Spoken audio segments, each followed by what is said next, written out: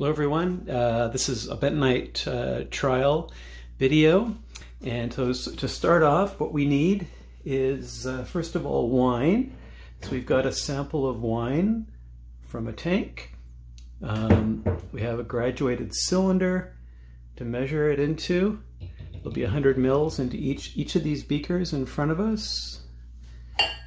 Be putting 100 mils into these beakers and we'll be using bentonite pre-made uh, overnight uh, at least or older so it's rehydrated so this is uh, NaCalit uh, bentonite 20% solution 200 grams per liter and I've shaken it up and we'll need a pipette to measure it and then a stir stick to measure it once it's in there. So I've measured out 100 mils into this graduated cylinder. That goes in the beaker. And now with a pipette, I'll be pipetting 0.75 mils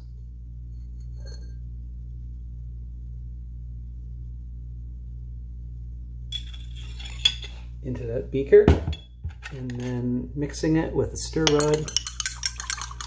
Make sure it's all homogeneous mixed and that's done. So now that'll sit overnight and uh, settle for the morning.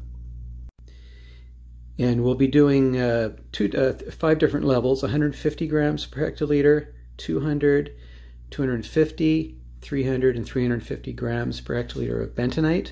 Uh, which is suitable for hybrids in Nova Scotia. It seems high. Uh, I know in BC with vinifera, quite often I was using 60 to 80 grams per hectoliter, but uh, uh, this is uh, I guess high pro higher proteins in Nova Scotia.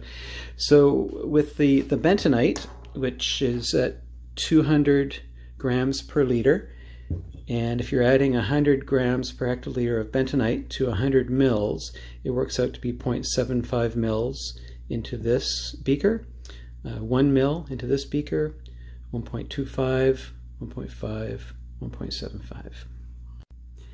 The samples have settled really well overnight, and now we're going to filter them through a 0.45 micron filter pad and check for stability.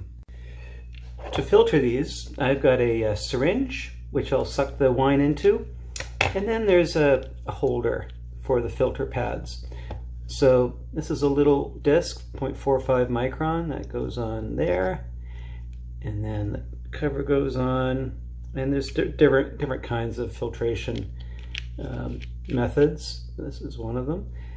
Um, so I'm going to get the first sample. I'll, I'll uh, get it right off the top where it's nice and clear.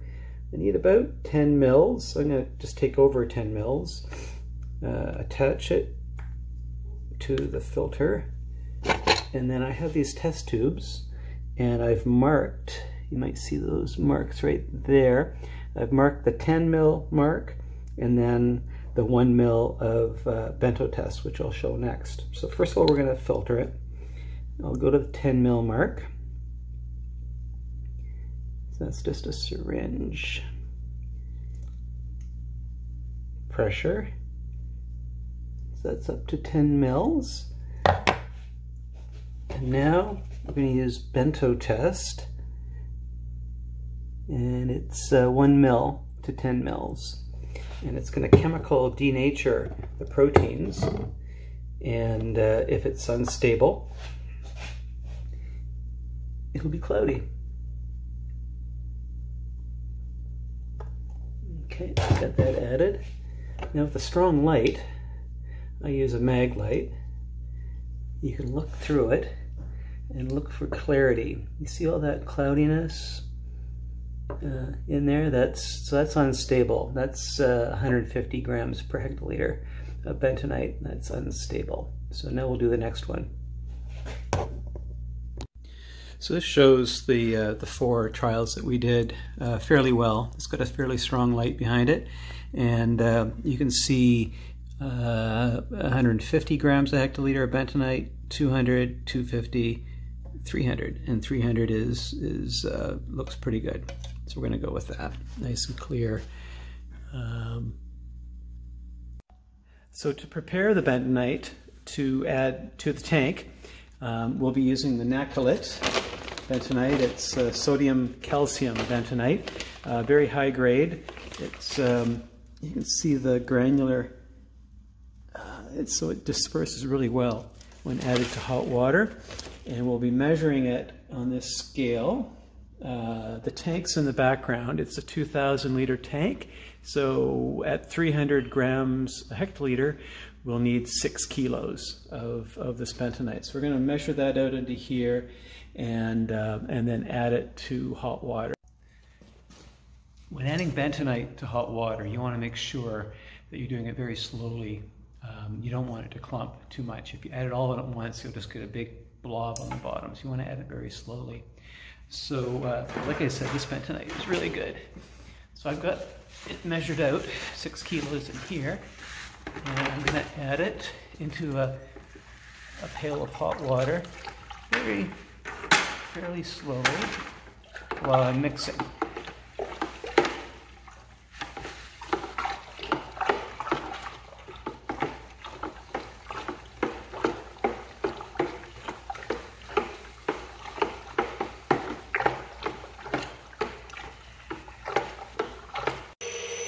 Getting ready to add bentonite to the tank uh, that we made up.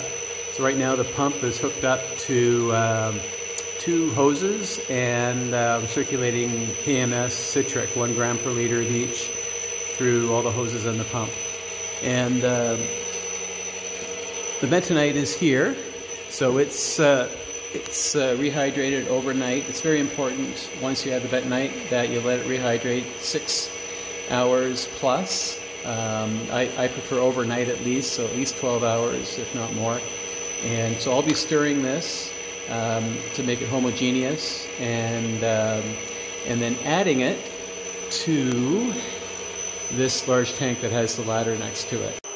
One of the best ways to mix a tank is from the bottom valve over the top. So I've got a hose hooked up to the bottom valve, uh, you can see on that tank, and, um, and then over the top I've got it secured. Best practices is to secure the weight of the of the hose. So I've got it secured on the side side of the tank, and then also secured inside. So uh, I'll be dumping slowly the, the bucket of bentonite in the top while it's mixing, bottom to top, and I'll keep it, keep it mixing for about, um, it's instantaneous, bentonite uh, reacts very quickly, but I'll, I'll mix it to make sure it's homogeneous for about, I don't know, 15 minutes or so for this 2,000 liter tank.